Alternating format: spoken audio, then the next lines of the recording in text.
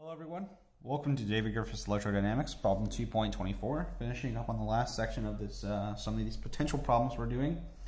Um, and then we're going to be learning about Laplace's equation and stuff like that, and find better ways to find the potential. But for now, we are stuck with our um, formula that requires us to have the knowledge of the electric field already, which is not very useful because the point is that the, the potential is generally use, uh, easier to find than the electric field.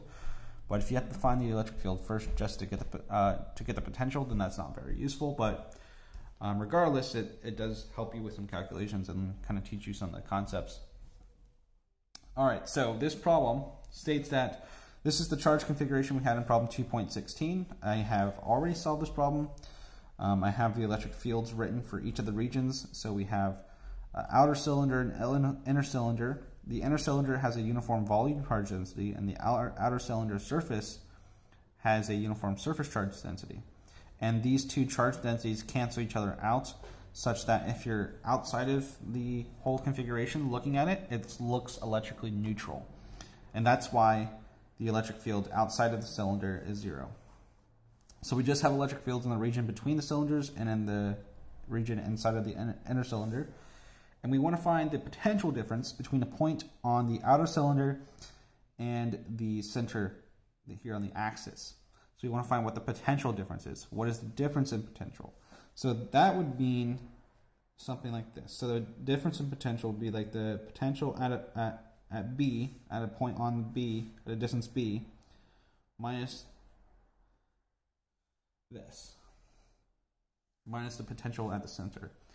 And you know, we can use our equation that we've been using to find um, potentials this whole time. And I'm going to start at the center and I'm going to work my way out. So this is going to be equal to minus the integral. So I'm going to start at 0 and I'm going to go to A first because we're in two we have two separate regions to consider. But here, I'll write it like this. So we're going to go from the center to B of E dot dl. That's, that's the problem. And to do this, we have to cross two different regions of two different electric fields. So this integral is going to be split up into two separate integrals, kind of like our last problem was. So this is going to be minus the integral from the center to A, and then we use the first uh, equation. So E dot dl in this case becomes this ds. And then minus the integral from a to b of the second equation, so rho a squared over 2 epsilon naught s ds. And this is going to be how we find the potential. So let's do this first integral. So this first integral is, so we have the minus sign, we have rho, I'm to pull out everything, all the constants. And then so we're just going to have SDS, the integral of SDS, um, which becomes s squared over 2. So we have s squared over 2. Sorry about that. You guys see? Yep. And this is going to be evaluated from 0 to a. I'll do that in a second. Then we have minus, we have rho, a squared is constant, 2 epsilon naught is constant. Then we have the integral of 1 over s ds. Well, that's just going to be the natural log of b over a, these bounds. So I already evaluated these bounds and we just have to evaluate this section here. Let me do this on a new page on the back here.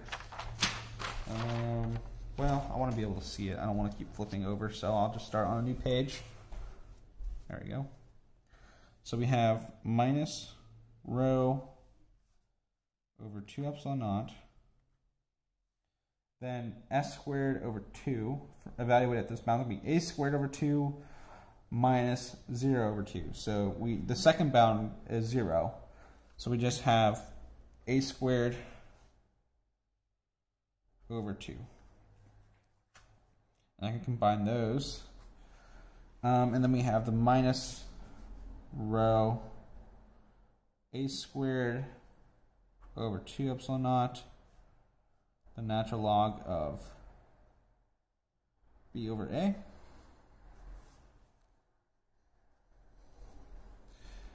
And let's see. So I could factor out rho a squared over 2 epsilon naught. That would leave a, a, a 1 half here. So this is going to be equal to, and let's factor out, we want to factor out the minus sign or not?